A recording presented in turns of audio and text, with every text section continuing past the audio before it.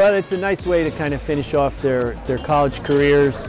Uh, they get together with their peers, and each athlete gets the opportunity to be introduced by their coach, talk a little bit about them, their impact on the team, and their impact on Marist. So um, I think most of our student athletes walk away feeling pretty good about their time here at Marist, and uh, it's a terrific way for them to be recognized for that. To win this award, it was definitely something that kind of blindsided me. Um, I kind of keep my nose down in things like this, but it's definitely an honor to be recognized by all the coaches at Marist, not just my own, because my coaches do a great job of hyping me up and my teammates do too. So to know that everyone at Marist thinks that, it's something really gratifying. It definitely feels validating. I put in a lot of time and effort over the years as a draw taker and as an attacker at Marist. To know that my hard work didn't go unnoticed is something really special to me. I'm very honored. There was a lot of good competition up there, so I'm very honored to get this award. It's, it's nice to get recognized for hard work. I feel like uh, Marist Athletics and my coaches do a good job of reassuring when you do well and congratulating you for hard work.